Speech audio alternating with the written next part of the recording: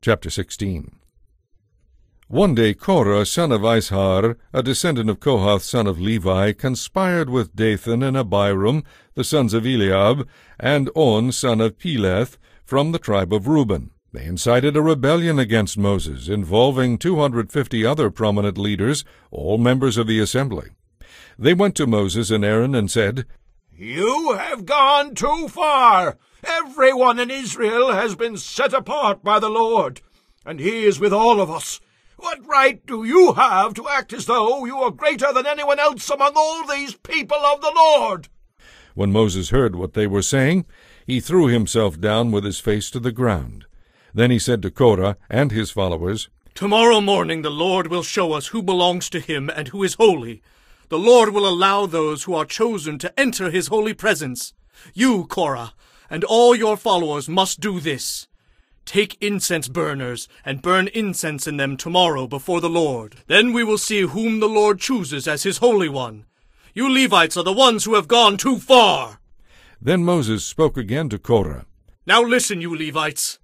Does it seem a small thing to you that the God of Israel has chosen you from among all the people of Israel to be near him as you serve in the Lord's tabernacle and to stand before the people to minister to them?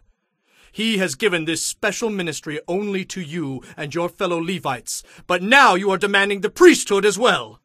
The one you are really revolting against is the Lord. And who is Aaron that you are complaining about him? Then Moses summoned Dathan and Abiram, the sons of Eliab, but they replied, We refuse to come. Isn't it enough that you brought us out of Egypt, a land flowing with milk and honey, to kill us here in this wilderness, and that you now treat us like your subjects? What's more, you haven't brought us into the land flowing with milk and honey, or given us an inheritance of fields and vineyards. Are you trying to fool us? We will not come. Then Moses became very angry and said to the Lord, Do not accept their offerings. I have not taken so much as a donkey from them, and I never hurt a single one of them. And Moses said to Korah, Come here tomorrow and present yourself before the Lord with all your followers. Aaron will also be here. Be sure that each of your 250 followers brings an incense burner with incense on it, so you can present them before the Lord. Aaron will also bring his incense burner. So these men came with their incense burners, placed burning coals and incense on them, and stood at the entrance of the tabernacle, with Moses and Aaron.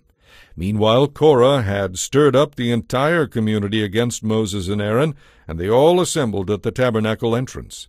Then the glorious presence of the Lord appeared to the whole community, and the Lord said to Moses and Aaron, Get away from these people, so that I may instantly destroy them. But Moses and Aaron fell face down on the ground. O God, the God and source of all life, they pleaded, must you be angry with all the people when only one man sins? And the Lord said to Moses, Then tell all the people to get away from the tents of Korah, Dathan, and Abiram. So Moses got up and rushed over to the tents of Dathan and Abiram, followed closely by the Israelite leaders. Quick! he told the people. Get away from the tents of these wicked men, and don't touch anything that belongs to them. If you do, you will be destroyed for their sins. So all the people stood back from the tents of Korah, Dathan, and Abiram. Then Dathan and Abiram came out and stood at the entrances of their tents, with their wives and children and little ones. And Moses said, By this you will know that the Lord has sent me to do all these things that I have done, for I have not done them on my own. If these men die a natural death, then the Lord has not sent me. But if the Lord performs a miracle, and the ground opens up and swallows them and all their belongings, and they go down alive into the grave, then you will know that these men have despised the Lord. He had hardly finished speaking the words when the ground suddenly split open beneath them. The earth opened up and swallowed the men along with their households and the followers who were standing with them, and everything they owned.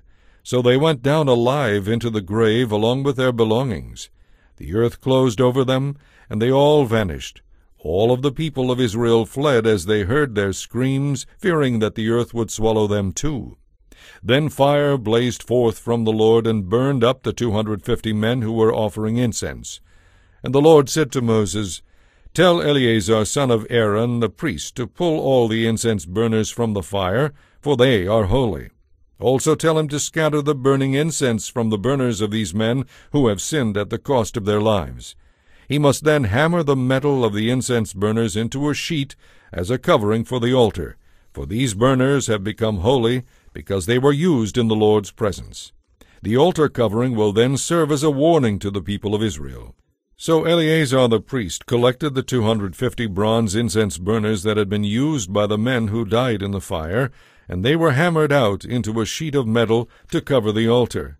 This would warn the Israelites that no unauthorized man, no one who was not a descendant of Aaron, should ever enter the Lord's presence to burn incense. If anyone did, the same thing would happen to him as happened to Korah and his followers. Thus the Lord's instructions to Moses were carried out. But the very next morning the whole community began muttering again against Moses and Aaron, saying, You two have killed the Lord's people. As the people gathered to protest to Moses and Aaron, they turned toward the tabernacle and saw that the cloud had covered it, and the glorious presence of the Lord appeared. Moses and Aaron came and stood at the entrance of the tabernacle, and the Lord said to Moses, Get away from these people so that I can instantly destroy them. But Moses and Aaron fell face down on the ground. And Moses said to Aaron, Quick! Take an incense burner and place burning coals on it from the altar. Lay incense on it and carry it quickly among the people to make atonement for them. The Lord's anger is blazing among them. The plague has already begun. Aaron did as Moses told him, and ran out among the people. The plague indeed had already begun, but Aaron burned the incense and made atonement for them. He stood between the living and the dead until the plague was stopped. But 14,700 people died in that plague, in addition to those who had died in the incident involving Korah. Then, because the plague had stopped, Aaron returned to Moses at the entrance of the tabernacle.